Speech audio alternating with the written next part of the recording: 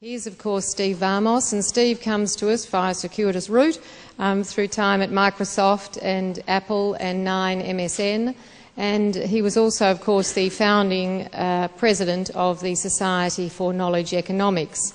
He currently sits on the um, board of one of Australia's largest companies, and can I, can I say, as a personal Telstra shareholder, I'm very grateful indeed that it's Telstra. Please welcome Steve Vamos. Thank you. Thanks, Kathy. You know, when I think about uh, creativity and innovation, I can't help but go back to um, a teleconference that I was on when I, in my Apple days.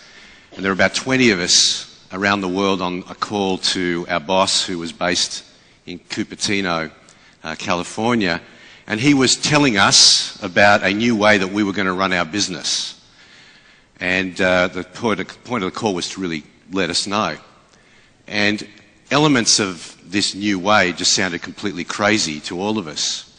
And I can remember questioning and questioning, challenging and challenging until he just lost it.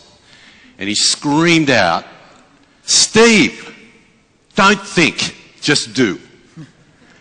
And in a sense, you know, for all of you that have ever been told don't make mistakes or mind your own business, at the end of the day, this is really the rubber, where the rubber hits the road of creativity and innovation. It's at the workplace, and it's about the relationship you have with those you work for and those you work with. And really what I want to do in the few minutes I've got is to sort of shine the light on the sort of elephant in the room that in these conversations we don't talk enough about. And that is the fact that leadership, culture and management practices of organisations in our economy and society are rooted in an age, the industrial age, that doesn't exist anymore. It's changed.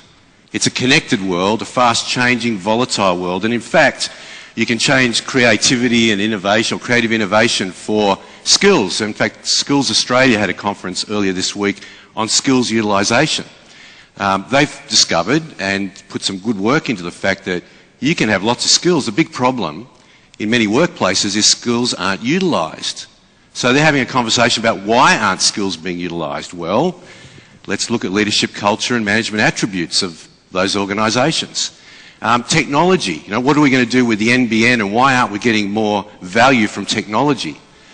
It's interesting that technology is often blamed for failure, where people will say, well, this technology didn't work, whereas in another organisation, the exact same technology does work. And, and in a sense, the common theme here is the theme around change. That when we talk about innovation, we talk about creativity, we talk about new technology and productivity, it's all about change.